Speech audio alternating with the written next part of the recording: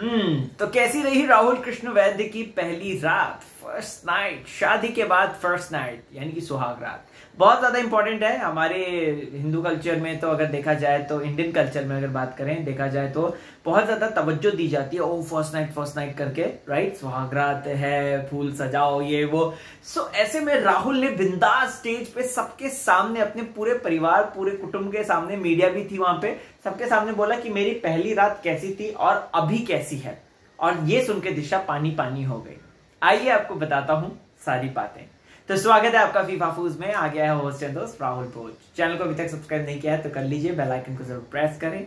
Facebook today Insta पे मौजूद हूँ तो आप मुझे वहाँ पर फॉलो कर सकते हैं। 16 तारीख को शादी हुई, ठीक है। फिर उसके बाद 17 तारीख को एक फ़ंक्शन था उनका, ठीक है। अब राहुल ने इसी 17 तारीख के दिन जो है एक बड़ा खुलासा किया। सबसे पहले वो कहते हैं कि शादी के फ़र्स्ट नाइट में उनके मामा और उनके कजिन उनके रूम में सुबह तीन बजे आ गए और उस वक्त दिशा ने मुझसे कहा कि क्या हमारे रूम में कोई और भी है क्या? ठीक है? राहुल कहते हैं कि क्या हमारे सेकेंड सेकेंड जी तो क्या हमारे रूम में कोई और भी है क्या? तो मैंने कहा हाँ मतलब सोचिए फ़र्स्ट नाइट में ऐसा कौन करता है? इतना ही नहीं। जब हम सब थक कर सो गए थे तो अगली सुबह, यानी कि सत्रह तारीख को मेरे मामा सुबह आठ बजे आ गए और रूम की बेल बजाई। मैंने रूम खोला और कहा, मैंने गेट खोला। कहती, बोल रहे हैं, बेटा, तू सो रहा है? तो मैंने कहा हाँ मामा, सो रहा हूँ। तो वो कहते हैं कि जैकेट छूट गई थी। और मैंने कहा मामा ये आप बाद में भी तो ले सकते थे ना?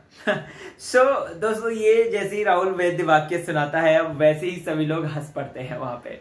और दिशा जो है शर्म से लाल हो जाती है पानी पानी हो जाती है।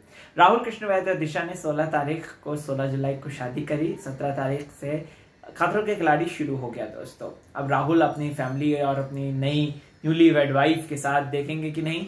ये तो देखना दिलचस्प होगा। खैर आपको क्या है कहना और राहुल का स्टंट कैसा लगा कल वाला? हालाँकि अनफॉर्चुनेटली बेचारा कर नहीं पाया पूरा लेकिन कोई बात नहीं आगे अच्छा कर रहे हैं सुना राहुल ने। सो so, फटाफट कमेंट सेक्शन में जाए मुझे ज़रूर बताएँ पर चैनल के साथ देखते रहे फीफा फूल्स